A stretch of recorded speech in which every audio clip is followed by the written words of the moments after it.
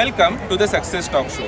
Today with us, famous personality, Sir wish you all the and let's start with our interview. Uh, sir, what is your definition of success? Uh, success, I think, is a, is a mixture of hard work and uh, perseverance and uh, staying true to your cause. Amazing. So, what are the things which motivates you? Uh, in my personal uh, profession of stand-up comedy, I think everything motivates, motivates me. Just going up on stage uh, motivates me. Uh, seeing uh, so many young people doing stand-up comedy motivates me. I think everywhere you look around, everything motivates you. Yes. And if our audience want to contact you, or if our audience want to take some message from you, Yeah. what are the message you want to give to our audience? Yeah, just work hard. Uh, uh, as long as you enjoy what you're doing, uh, doing work, you will you will succeed in whatever you uh, strive for. Amazing. Can you just uh, give a one-liner for our audience as your profession, your comedian?